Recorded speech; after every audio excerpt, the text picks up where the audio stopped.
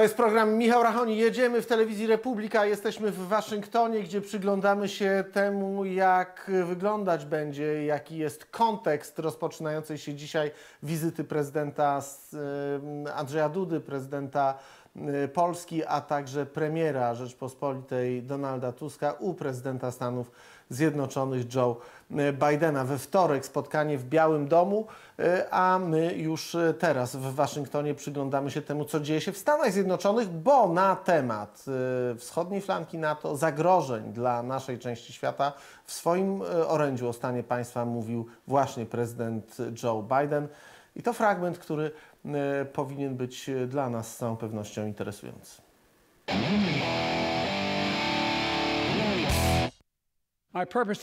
Celem mojego wystąpienia dzisiejszego wieczoru jest obudzenie Kongresu i ostrzeżenie Amerykanów, że to nie jest zwyczajny moment. To, co sprawia, że ten moment jest wyjątkowy, to fakt, że wolność i demokracja są atakowane, zarówno u nas w Stanach Zjednoczonych, jak i za granicą. Putin, dyktator z Rosji, jest w marszu.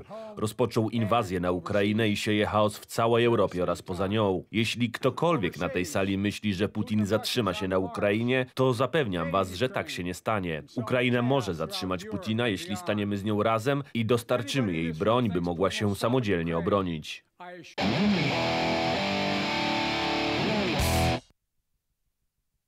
No i trudno nie e, widzieć tej sprawy z naszej perspektywy. To element strategii odbudowa Związku Radzieckiego, której chce e, Władimir Putin i Federacja Rosyjska, e, musi prowadzić również do naruszenia niepodległości, suwerenności, granic państw takich jak e, Polska i przez bardzo wiele lat e, świat Zachodu tego zrozumieć, zrozumieć nie chciał. Maciej Rusiński, mamy po 30 sekund, bardzo proszę, Maciej Rusiński. Bardzo ważne słowa Bidena, oczywiście prawdziwe, przy czym Niestety za tymi słowami nie, nie, nie, idą, nie idą konkrety. Trochę jest to używane na, e, na e, potrzeby wewnętrznej polityki. Wracając na, bardzo na szybko do State of the Union, niestety nie pojawiło się tam nic na temat e, wydatków na obronność, na temat budżetu, budżet, budżetu zatwierdzonego teraz czy debatowanego w kongresie co do wydatków. Ten budżet w ogóle nie jest zwiększony w, w realnym, w realnym wymiarze, tylko tak naprawdę podwyższony o, o inflację. Więc mimo, mimo pewnej retoryki ze Stanów Zjednoczonych, z którą trzeba się zgodzić, bo oczywiście nie ma tutaj wątpliwości, że Rosja jest ogromnym zagrożeniem. E, chciałoby się wiedzieć więcej konkretów. Tak jak powiedziałem, ta wizyta będzie trochę użyta na, e, na, e, do krajowej polityki, ale też no, trzeba być pozytywnym. Myślę, że będzie pewnym też wybadaniem, wprowadzeniem do, wprowadzeniem do kontaktów z nowym rozdaniem, jaki, ma, jaki mamy miejsce w Polsce, jeżeli chodzi o podział i strukturę, podział wpływów opcji politycznych i strukturę władzy. No więc zobaczymy, co z tego wyniknie. No, taką zasadą jest to, że polityka zagraniczna jest e, wypadkową, zakładnikiem polityki e, wewnętrznej. E, Marian Kowalski, niezależnie od krytycznego spojrzenia na całą masę decyzji podejmowanych przez prezydenta Stanów Zjednoczonych, tego prezydenta Stanów Zjednoczonych, no to świadomość tego, że Stany Zjednoczone pilnując swoich geopolitycznych interesów być może w sposób niewystarczający, być może w sposób niewystarczająco daleko idący, ale jednak e, umożliwiły e, Ukrainie stawienia, stawienie czoła Federacji Rosyjskiej z naszej perspektywy jest niezwykle istotny. Tak, no ale też były błędy i to poważne. Przecież to prezydent Biden nie chciał dać Ukrainie, gdy była jeszcze e, no, w, w, o wiele lepszej sytuacji rakiet dalszego zasięgu, no bo obawiał się, że jak Ukraińcy zaczną strzelać na terytorium Rosji, no to y, Putin się bardzo pogniewa. Tego typu polityka jest zgubna, no bo bandytów trzeba po prostu tępić, a nie się ich bać.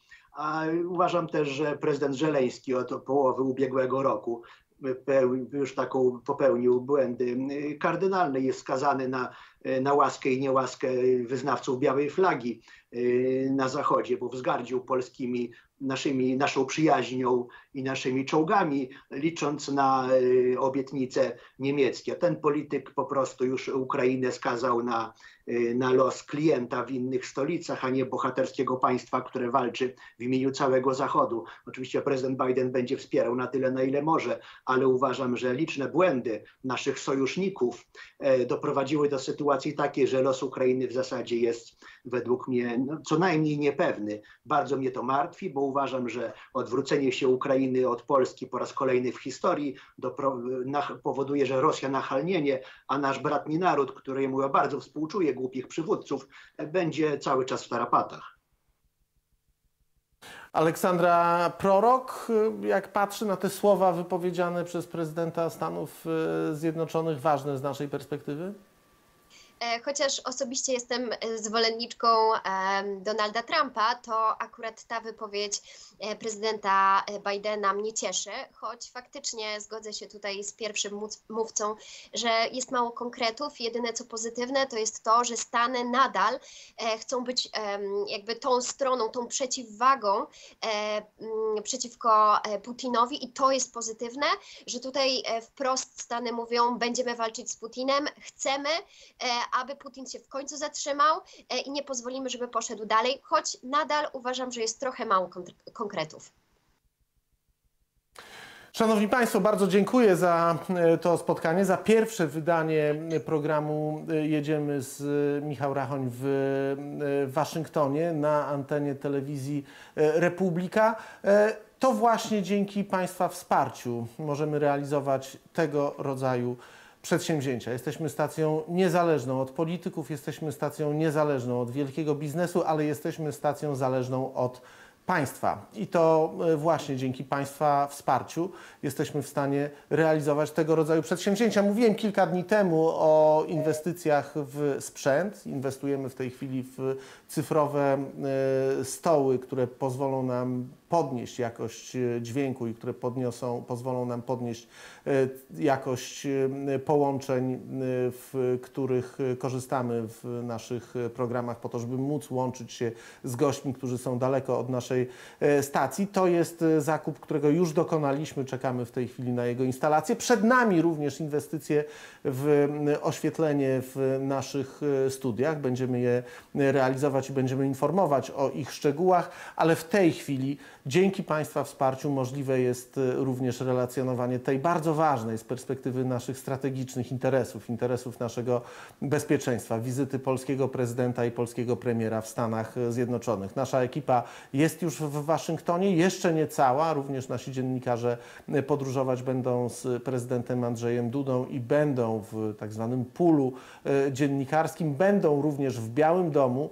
E, będziemy tam na miejscu. Michał Jelonek e, e, jest reporterem, który będzie w tej ekipie brał udział i będziemy relacjonować całość tej wizyty przez najbliższy tydzień nasze programy, nasze live'y, nasze relacje z Waszyngtonu i nie tylko z Waszyngtonu, bo ta wizyta nie będzie dotyczyła tylko i wyłącznie stolicy Stanów Zjednoczonych. Ale raz jeszcze apeluję o wsparcie telewizji Republika, bo rozwijać się możemy tylko i wyłącznie dzięki Państwu i dzięki Państwu możemy realizować te ważne dla nas wszystkich programy i przedsięwzięcia. Dziękuję uprzejmie za poświęcony czas. My idziemy jeszcze na chwilę się zdrzemnąć, bo tu, gdzie jesteśmy, dochodzi godzina czwarta, choć w Polsce właśnie budzi się dzień. Proszę zostać z Domem Wolnego Słowa, z telewizją Republika.